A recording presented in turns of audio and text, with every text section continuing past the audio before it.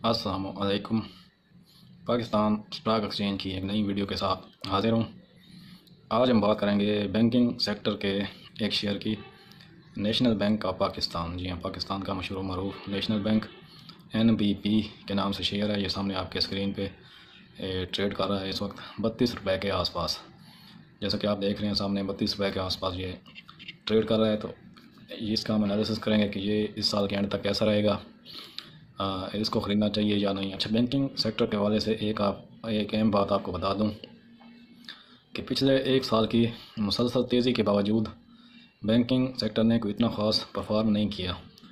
तो इस वक्त आप अब मार्च 2021 चल रहा है तो आप आसानी से बैंकिंग सेक्टर में अपनी इन्वेस्टमेंट कर सकते हैं अगर आप लॉन्ग टर्म के लिए पाँच से छः महीने एक साल के लिए काम करना चाहते हैं तो, तो आपके लिए पैसे कहीं भी नहीं जाने वाले।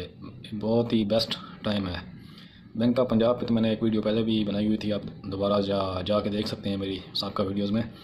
बैंक ऑफ़ पंजाब भी बीस रुपये से गिर के आठ रुपये पे आया हुआ है, और ये इसकी आखिरी स्टेज है, सात रुपये आठ रुपये ठीक है ना? तो इसी तरह नेशनल बैंक भी पिछले एक साल में बीस से चालीस पे पहुँचे, मगर अब फिर चालीस वाला तीस पे आया हुआ है। तीस के आसपास कुछ अर्सा रहेगा, अगर करेक्शन बड़े साइज़ की हुई तो। ये पच्चीस रुपये भी चला जाएगा, मगर पच्चीस के बाद फिर किसी भी वक्त कम बैक करके पचालीस और उसके बाद पचास से साठ रुपए तक इस साल के एंड तक जा सकता है। अच्छा पच्चीस से साठ के दरमियान ही ये ट्रेड करता रहेगा। तो आप इसको अपने पोर्टफोलियो में रख सकते हैं। आपके इन्वेस्टमेंट बिल्कुल महफूज है।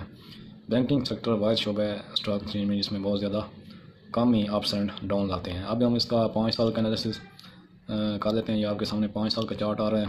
उसके बाद एक साल का भी जायज़ा देंगे। ये पाँच साल वाला आप देख सकते हैं कि 2017 में ये अस्सी रुपये पे ट्रेड कर रहा था। जी हाँ अस्सी रुपये पे, क्योंकि पाकिस्तान स्टॉक एक्सचेंज अपने बुलंद तरीन पॉइंट पे थी, चौवन हज़ार की बुलंदी पे ट्रेड कर रही थी। तो बहुत सारे स्टॉक्स, बहुत सारे सेक्टर्स ऐसे हैं जिन्होंने बहुत ही ज़्यादा आउट परफॉर्म किया, यानी बहुत ही हाई रेट पे पहुँच गए। ये भी अस्सी रुपये पे ट्रेड कर रहा था, मगर उसके बाद अगले दो साल में, जैसा आप चार्ट आपका देख सकते हैं कि इसने दो हज़ार अठारह और उन्नीस की एंड तक जून, जुलाई दो हज़ार उन्नीस तक क्योंकि मंदी रही है। तो ये स्टॉक भी गिरते गिरते बीस रुपये तक आ गया। जी, अस्सी वाला स्टॉक गिरते गिरते बीस रुपये पे आ गया। मगर जब बुल ट्रेंड शुरू हुआ, यानी तेज़ी की जो मार्केट शुरू हुई तो उसमें ये बढ़ते बढ़ते अभी चालीस रुपये पे पहुँचा ही था कि मार्च 2020 में विश्व नमदार हो गया कोरोना का, उसकी वजह से एक बार फिर से। अब एक साल वाला अगर चार्ट देखें तो उसमें आपको नज़र आ जाएगा ये गिर के। दोबारा से आ गया बीस रुपये पे। बीस, बाईस, तेईस, इसके आसपास। मगर अब फिर ये उसके बाद जो तेज़ी आई है, एक साल की तेज़ी में, ये दोबारा कम बैक कर गया है, चालीस बयालीस के आसपास रहा है, चवालीस तक पहुँचा है ये कुछ अर्सा पहले तक। मगर अब फिर से करेक्शन की वजह से दस रुपये गिर चुका है बयालीस वाला स्टॉक बत्तीस रुपये पे मिल रहा है। तो ये तीस और बत्तीस रुपये पे भी आप इसको आसानी से बेफिक्र होकर ख़रीद सकते हैं। आपके पैसे कहीं नहीं जाने वाले। क्योंकि अब इसने दोबारा साठ रुपये तक ट्रेड जाना है। लेकिन ये साठ रुपये पे ये नहीं कि पास पंद्रह बीस दिन में चला जाएगा, पाँच से छः महीने लग जाएँगे इसको। तो साठ से सत्तर रुपये इसका जो हाई रेट है वो है।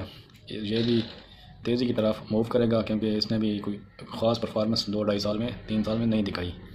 तो इस साल के एंड तक तेज़ी की मार्केट ओवरऑल जारी रहेगी।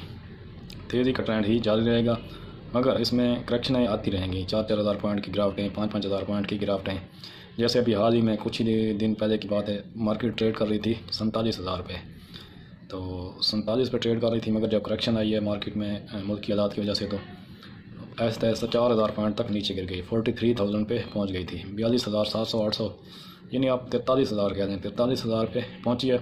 मगर फिर अब कुछ ही दिनों से दोबारा कम बैक करके दो हज़ार पॉइंट गेन कर चुकी है। ये आपके सामने इंडेक्स पैंतालीस हज़ार भी आ रहा है, पाकिस्तान स्टॉक एक्सचेंज का इंडेक्स पैंतालीस हज़ार पे अब ट्रेड कर रहा है। पैंतालीस हज़ार पाँच सौ, पैंतालीस हज़ार के आसपास।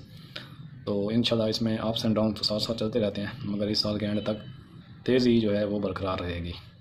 वीडियो देखने का शुक्रिया, चैनल सब्सक्राइब कर लें बेल आइकन प्रेस कर दें ताकि हमारी हर आने वाली मालूम से आप मुस्तफ़ हो सकें।